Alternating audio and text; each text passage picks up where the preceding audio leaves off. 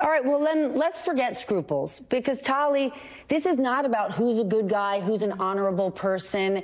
I want to remove ourselves from the shock department and go to the legal department. Mm-hmm. Anything we have heard tonight, does any of it matter? Because the only things that matter are winning elections and following the law.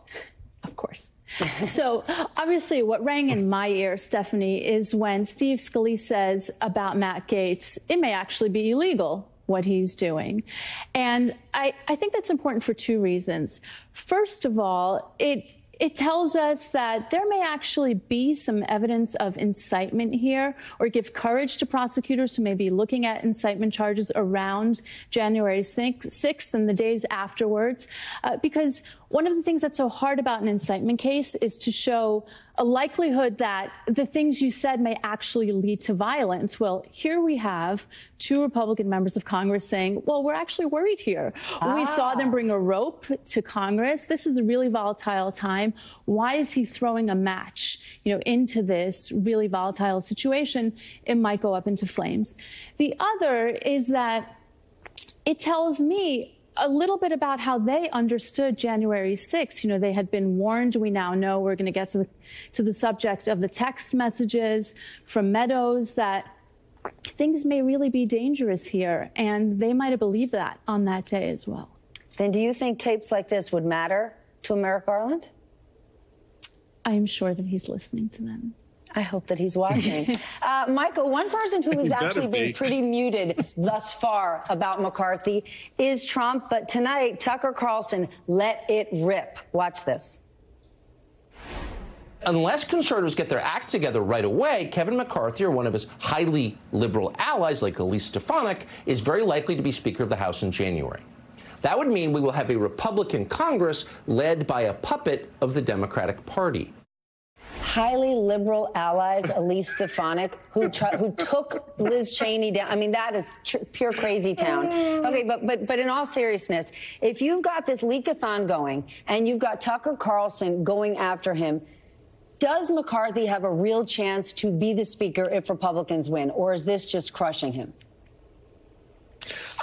You know, I think there's still a little bit more drama to get played out here. You know, Little Tuckums is doing his thing yeah, for the cause for sure. Uh, the reality of it is, you know, this, it's interesting watching this worm turn. Um, for Kevin McCarthy, the way it has, um, and and and the fact of the matter is, it goes back to my earlier point. There is no love inside this wing of the Republican Party, this this sort of pool, cesspool of, of political characters for someone like Kevin McCarthy. Nor is it for uh, Elise Stefanik, whom they all praised and patted on the back for the purposes of showing uh, Liz Cheney the exit, right? But again, this is all a very tenuous transactional relationship, very much in the Trump mold. And to the extent it stops being a transaction that's favorable to your your narrative, your messaging, and the money that you're grifting off of it, you know, you better believe a Tucker Carlson is going to go on Fox and start saying the crazy you heard tonight. Claire, what do you think is happening within the Republican Party? Because for the most part, during the four years when Trump was in office, despite what they have they may have said privately, they held their nose and they stood behind him as their fearless leader. Are we seeing things change publicly here? I mean, these aren't Democrats leaking these tapes. Listen, um, here's what Kevin McCarthy had a front row seat for. He had a front row seat when the extreme element of their caucus ran John Boehner out of the speakership. Mm. He had a front row seat when that same element in their caucus ran Paul Ryan out of the speakership. He has watched what happens when you try to tangle with the most vicious and extreme elements of his party. And now Tucker Carlson has taken up a weapon against him. Now, watch Sean Hannity carefully because that will tell you where Trump is.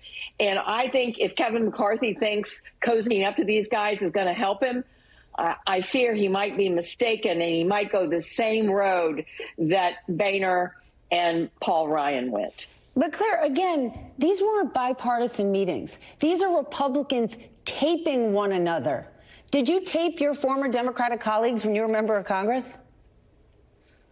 No, I did not. no need. Um, but there were also staff on this, some of these calls. So that's why it's going to be very hard for McCarthy mm. to hmm. figure out who is the guilty party here. I don't think Liz Cheney would do this. I frankly don't think a member would do this. But I think a staffer who is was freaked out at the fear that was palpable in the House chamber when shots rang out and someone was killed right outside the doors to the House of Representatives. I think the staff that worked there were traumatized by that. And I think they have continued to be very upset behind the scenes over the failure of the Republican Party to take it seriously. Michael, is there a chance these leaks are actually stealing the January 6th committee's thunder? If these are their big ahas, that's going to be a big uh oh when it comes to public hearings.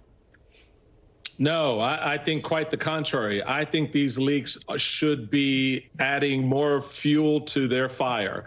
I think these leaks should should be uh, clear, clarifying what steps they should be taking, uh, not just for the January 6th Commission, but also for the DOJ. I mean, Stephanie, how much smoke does this gun have to emit before there are consequences? I mean, we're tiptoeing around tonight, you know, the chairman of the committee, you know, with all due respect, saying, well, you know, in all probability, we'll likely ask, you know, the speaker to, to I mean, uh, Kevin to come before the committee again. No, issue that damn subpoena at first thing in the morning. I mean, why are we playing nice because these people have positions inside of government? all of us on this panel would not be treated with the with the idea that we can just show up if we feel good that day or if we may or may not have something to say. I mean, I, so this part of it is frustrating for a lot of Americans who want to know exactly what happened, but more importantly, whose fingers were on the triggers that caused Americans to riot against its government. And I think this commission has a responsibility right now on this evidence. There are more tapes coming next week when this book comes out. So, I mean, this should be perfect fuel to give them the impetus to do what they need to do and for the DOJ to look at all of this collectively uh, and say, hmm, I think we're going to have to fill out some forms here and send around some paper. Fill out some forms. Tali, you're the legal expert. What do you think? Uh, you know, I think that every day we are seeing the atmosphere around this grow. Uh, you know, I think we're all still sorting through those text messages from Mark Meadows, and we're seeing them resonant with what we've just been talking about tonight, right? More evidence that there was real fear on that day. There was awareness that there was going to be violence on that day. And importantly, some connections to the president that up until now have been quite slippery. But Tali, you've devoted your career to being mm. a civil servant. If in the end, mm. none of this matters, if in the end there are no consequences, what does that say about our government? Mm. I'm not willing to answer that question, Stephanie, because you yourself said there are multiple ways for people to be held accountable for this kind of behavior, both through the political process and through enforcing the law and accountability. And now what we are seeing is evidence, audio recordings, text messages. Those are the best kinds of evidence. And we've waited a long time for them. Folks have been sitting on them, and now they're starting to come out. Then I know I'm out of time, but Claire, I have to ask. Then, from the political process standpoint, at this point, should Democrats be immediately turning all of this into campaign ads? And does this kind of content get undecided, vote, undecided voters motivated to show up in November?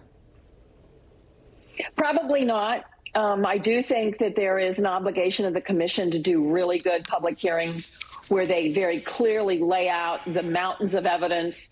But I do think what the Democratic Party should be doing is talking about things like inflation and talking about job creation and talk about the things that they did in the infrastructure bill and to make sure people understand that signing up for the Republican Party is not signing up to help people do better economically around their kitchen table.